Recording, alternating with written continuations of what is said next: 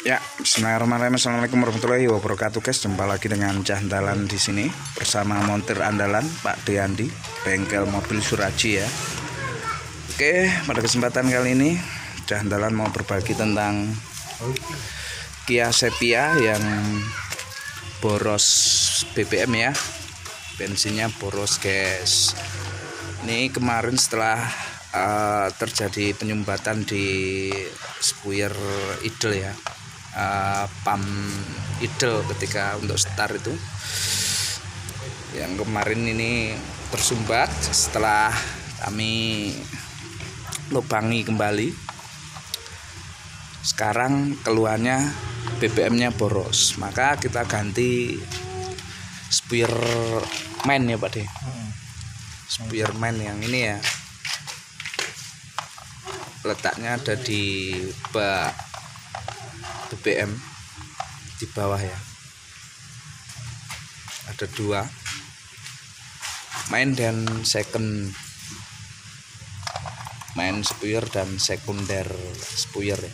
Ini yang kita ganti yang main. Biar jadi irit ya. Nih spuyernya kayak gini. Ini misalnya 100 kan. Kita ganti yang agak kecilan. 90 atau 80 ya. Tapi kalau mesinnya sehat diganti kecil tuh mau dia mau irit. Tapi kadang kalau mesinnya nggak sehat bisa jadi merebet ya.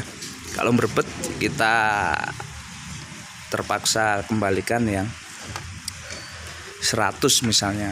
Tadi awalnya 100 tapi boros. Tapi kalau kita kecilkan nggak mau berbet. Berarti memang mesinnya yang nggak sehat. Tapi biasanya mau. Dikecilkan spuyernya ya lubangnya itu spuyernya ganti yang nomor kecil ya. Agak kecilan dikit. Ya ini yang semula ya yang boros ya. Ini ukuran 100 kita ganti yang baru ukuran 80 ya, kita pasang ulang.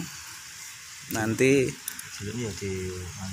kalau agak berbet ya atau telat itu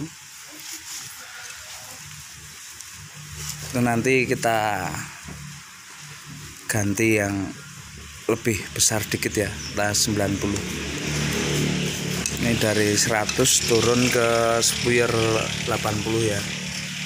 Yang main main yang kecil. Sekunder yang besar ya, ya. kita tuang pertalit kita pasang ulang ya. Nanti kita tes semoga saja enggak merebet ya. Kalau di stasionernya itu bisa langsam dan di head gas pun nggak ada gergelan atau ayunan ya atau drop mau nanti. Ada temuan baru juga guys. Ini di jarum apungnya ini aus ya. Jadi kadang terjadi berbet e, melepek melepek karena melepek gitu ya. Kebanyakan BBM yang masuk. Halo, nggak terstop di sini. Ya. Ini berhubung karetnya. Jarum mapung ya. Gedenya ya? Ini sudah aus sudah nggak rapat ya. Nah kita bersihkan saja di jarum mapungnya ya biar tidak melepek kalau pagi.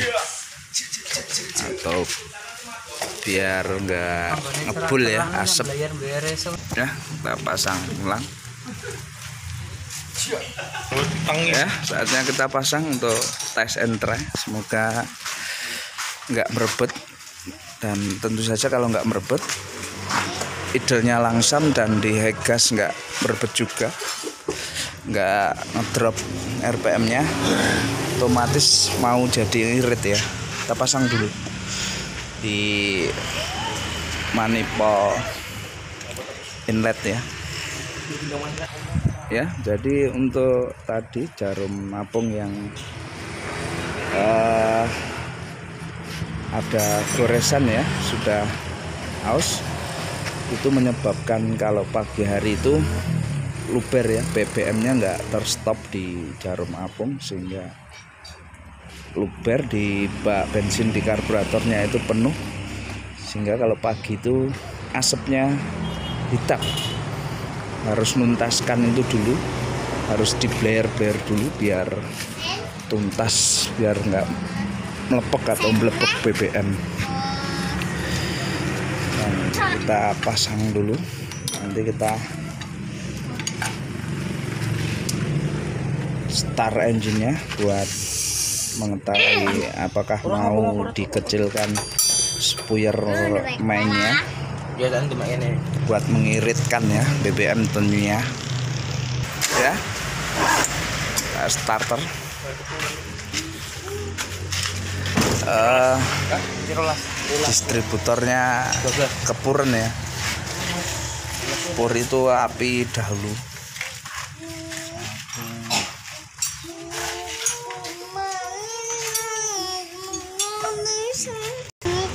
kita putar ke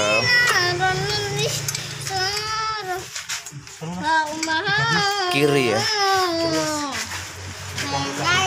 Buat nah karena ini putarannya searah dengan jarum jam.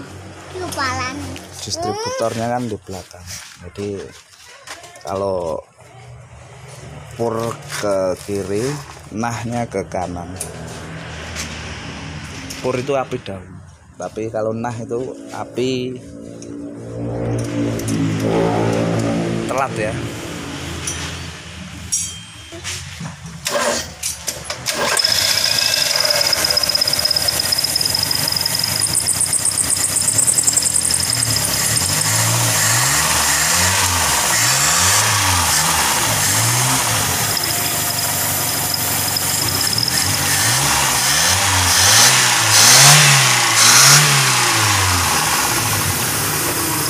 ya setelah dinahkan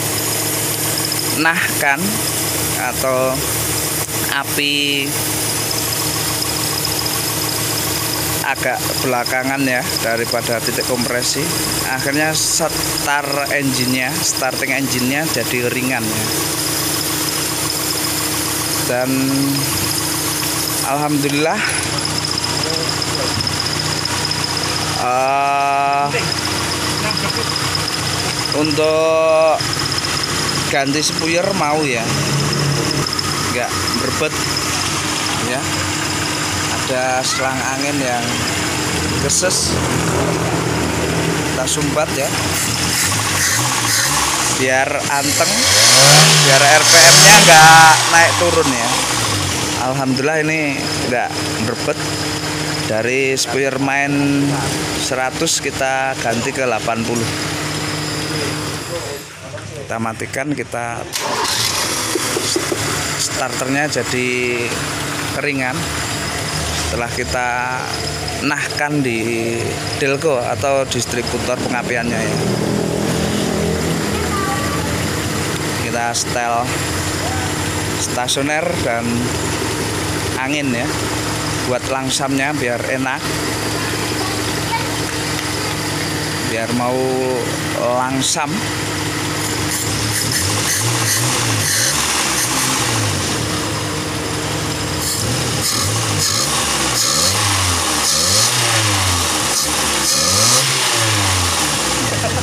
Ya. Dah. Jos. Tapi ya demikian. Sedikit share tentang cara mengiritkan BBM Kia Sepia atau Timor ya. Demikian sedikit share ini semoga bermanfaat. Salam sukses untuk berlover. Akhir wassalam. Assalamualaikum warahmatullahi wabarakatuh. Dodolanan nih loh